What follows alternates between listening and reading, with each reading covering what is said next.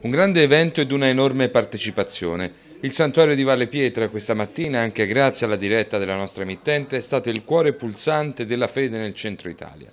Una messa, quella delle 10, in cui non solo è stata ribadita la devozione alla Santissima Trinità, ma è stato anche tributato il grazie al Rettore, Monsignor Alberto Ponzi, per i suoi 40 anni di sacerdozio. Devo dire solo grazie a Dio Trinità per questo dono grande che mi ha dato, per le tante soddisfazioni che riempie giorno per giorno la mia vita e la grazia che continuo a chiedere a Dio Trinità che mi aiuti con la sua luce, con la sua parola per camminare sempre secondo la sua volontà, per la sua gloria per il bene delle persone che mi sono state affidate. E dal 2000 sto qui santuario a Valle Pietra, dal 2003 sto a Trevi, dal, da un anno anche a Filettino e la Santissima Trinità veramente mi dona tanta luce, tanta forza, tanta salute. In occasione del quarantesimo anniversario di ordinazione sacerdotale di Monsignor Alberto Ponzi ci tengo a fargli gli auguri più fraterni, più affettuosi e più belli ecco, per questo suo traguardo. 40 anni di sacerdozio